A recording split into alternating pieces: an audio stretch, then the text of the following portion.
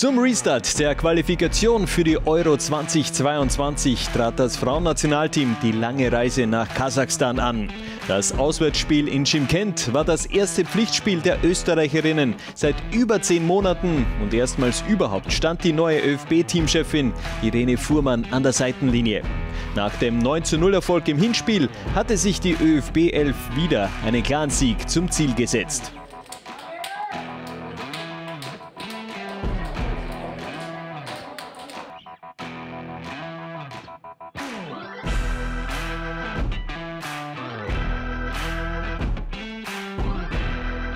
Die Partie begann aber mit einem Schockmoment. Julia Hickelsberger, im November in der Südstadt noch vierfache Torschützin, blieb bereits in der zweiten Minute verletzt liegen und musste mit Verdacht auf eine schwere Knieverletzung vom Platz. Es war keine leichte Situation, weil die Verletzung gleich äh, in der ersten Minute passiert ist und dann äh, wir sofort umstellen mussten, einige Zeit auch in, in Unterzahl agieren mussten. Ja, wir sind direkt zusammengegangen als Mannschaft und haben gesagt, dass wir jetzt eben fokussiert bleiben müssen und ähm, ja, unser Spiel auf den Platz bringen. Auch wenn es natürlich sehr bitter ist, ähm, nicht nur für sie, sondern auch für uns als Mannschaft. Ähm, das ist tatsächlich schwierig. Ähm, wir haben versucht, als Mannschaft zusammenzugehen, aber vor allem dann im Spiel einfach zu spielen. Also es ist wichtig, dass du Ruhe reinkriegst, dass du das Spiel wieder in die Hand nimmst und ähm, einfach über einfache Aktionen äh, wieder zu Selbstvertrauen kommst. Genau. Die Fuhrmann 11 übernahm trotzdem von Beginn an das Kommando und schnürte die Kasachinnen in der eigenen Hälfte ein.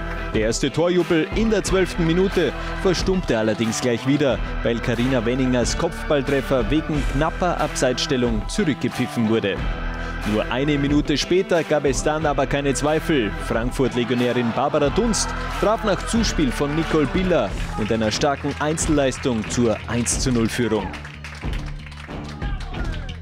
Für die Offensivspielerin, die die Rückennummer 8 von der zurückgetretenen ÖFB-Legende Nadine Prohaska übernommen hatte, war es der dritte Treffer im laufenden Wettbewerb.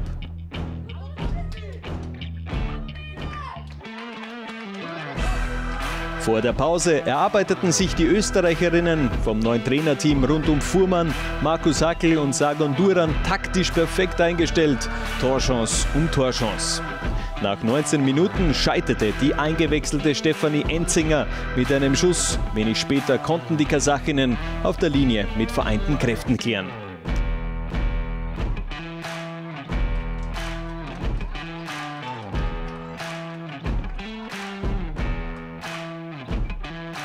Das ÖFB-Team verpasste es vor dem Seitenwechsel, den Sack zuzumachen.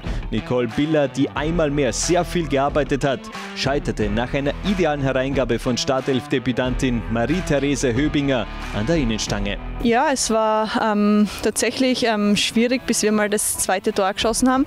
Aber ich glaube, die haben es uns gar nicht so schwer gemacht. Wir haben es uns selber schwerer gemacht und wir hätten in der ersten Halbzeit schon höher gewinnen können. Erst nach dem Seitenwechsel rollte der rot-weiß-rote Torexpress, der in den ersten vier Spielen bereits 16 Treffer erzielt hatte, dann so richtig an. In der 49. Minute krönte Barbara Dunst mit einem sehenswerten Lupfer zum 2 zu 0 ihre starke Leistung. Ihr erster Doppelpack im ÖFB-Teamdress. Ja, erstmal muss ich sagen, ich wurde echt super frei gespielt. Es war ein super Ball in die Schnittstelle. Ähm, habe dann gesehen, dass die Torfrau ein bisschen weit heraus gestanden ist und dachte mir so, okay, vielleicht mit einem Lupfer kann ich sie überheben und ging dann glücklich aus.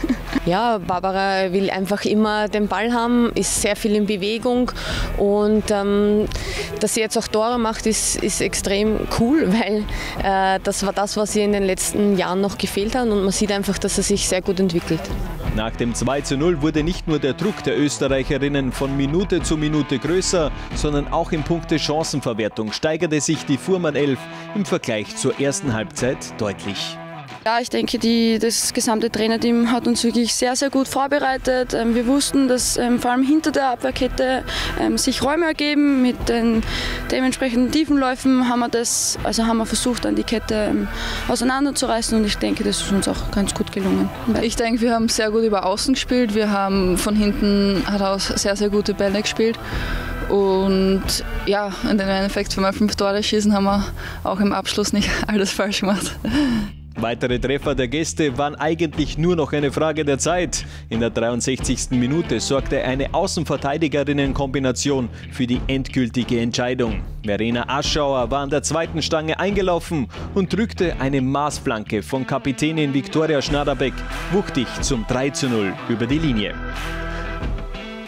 Das 4 zu 0 in der 67. Minute ging dann zu großen Teilen auf das Konto der starken Spielgestalterin Sarah Zadrazil. Die Bayern-Legionärin blieb geduldig und fand Sarah Puntigam, die bei ihrem 15. Länderspieltor im 102. Länderspiel keine Mühe hatte. Für den Schlusspunkt in einem äußerst einseitigen Spiel sorgte dann ein Elfmeter. Wieder war es Sarah Zadrazil, die die Schnittstelle in der gegnerischen Hintermannschaft fand.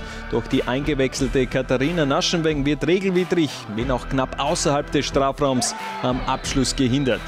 Dennoch entschied die Schiedsrichterin auf Strafstoß und Rot für die kasachische Abwehrspielerin. Nicole Biller ließ sich nicht zweimal bitten und stellte den 5 zu 0 Endstand her. Grundsätzlich sind wir sehr zufrieden, weil wir wissen, dass es nicht leicht ist, hier zu spielen, auswärts ähm, gegen ja, so einen tiefstehenden Gegner.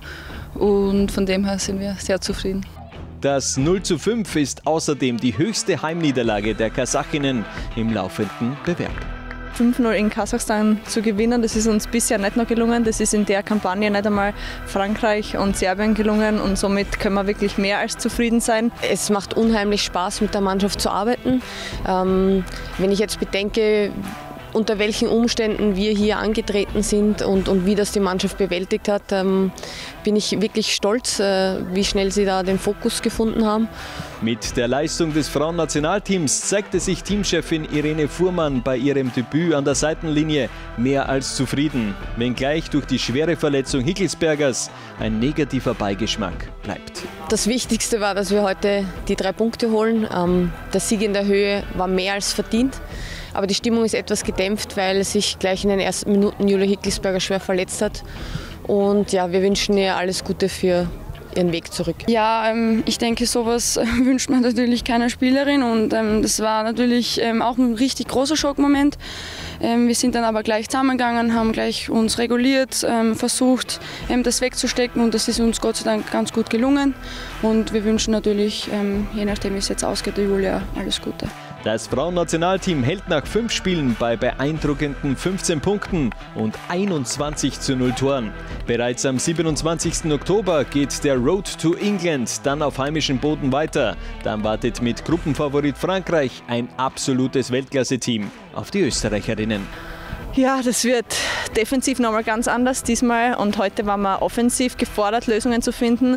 Gegen Frankreich gilt sicher defensiv einen guten Plan, eine Strategie ähm, ähm, zu finden und die dann ähm, im Spiel umzusetzen. Also es wird auch körperlich ein ganz anderes Niveau sein.